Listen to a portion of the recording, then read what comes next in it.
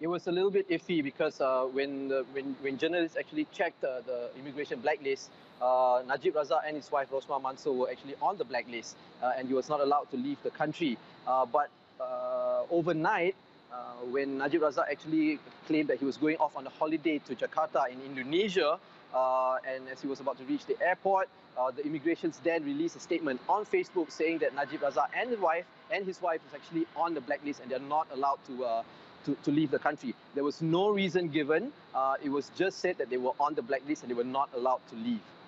So, what's his reaction apart from him saying, No, I wasn't trying to leave? Does anybody even believe that?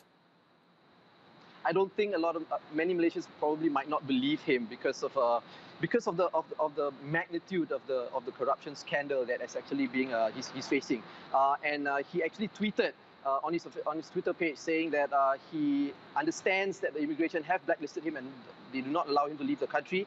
He says that he respects the decision and he will uh, spend time with his family at home instead. When he was at the airport on Saturday morning, uh, the scenes there, did they suggest that he is still a popular figure in Malaysia, or did it suggest otherwise, that actually people might now be resenting him?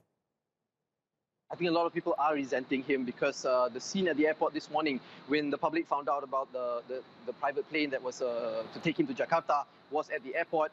A mob of about 100 over people were there, and they were actually stopping all vehicles that were approaching the airport to check who was in the vehicle, uh, in the vehicles that were arriving, and they were very, very angry. It was an angry mob, and police had to be deployed.